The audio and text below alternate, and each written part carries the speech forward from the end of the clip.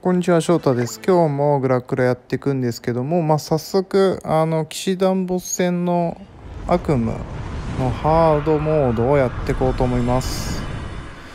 えー、っとまあパーティーはえー、っとなんだっけ？ハウザー？ハウザーと貫通貫通というかハウザーリリアゴーセル、えー、メリオダスの4人でやっていこうと思います。基本的には、まあ、あの回復封じがあるんでリディアの回復はまあ使えないものとしますと。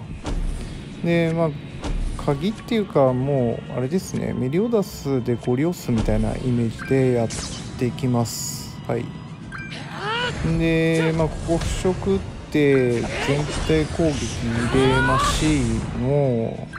でハンザーも全体攻撃ぶち込むと。もうあれですね。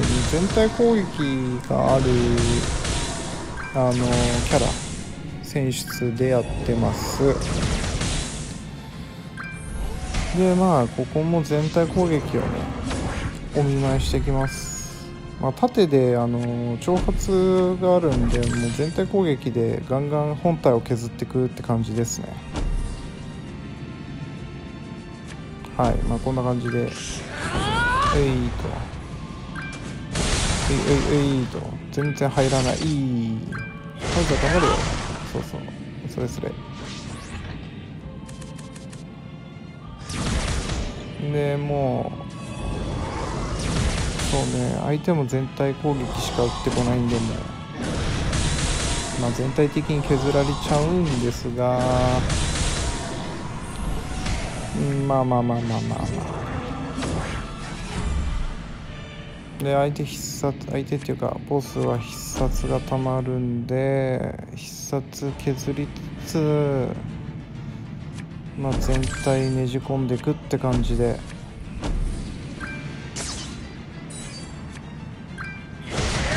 どんどんどんと全体入れてで必殺ゲージ削る OK で全体攻撃入れてでえっ、ー、と左。なんだっけ。剣か。剣を削ったのか。で多分ゴーセルやられちゃうかな。あー耐えられない。で腐食も入っている。でもうあとはもう全体攻撃をねじ込む感じで腐食入れつつ全体攻撃ねじ込んで GG かな。これで。はい。っていう感じでまあもうこんな感じです。全体攻撃入れてもうとりあえず全体攻撃入れてこうこうダメージは入れていけばいいかなぐらいの感じでやってますと。はい。うんまあこんな感じでハードモードはクリアできました。はい。うん。いやまあエクストリームも行きたいな。頑張ります。はい。